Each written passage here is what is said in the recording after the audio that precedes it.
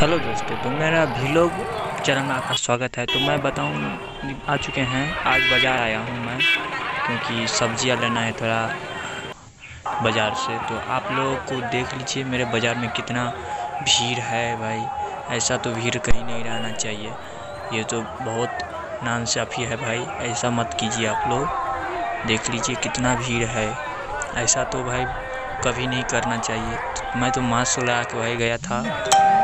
आप लोग भी कहीं बाज़ार जाते हैं तो गलती कभी नहीं कीजिएगा, मास्क ज़रूर लगा के जाइएगा। और देखते हैं ना कितना भीड़ है भाई बाज़ार में।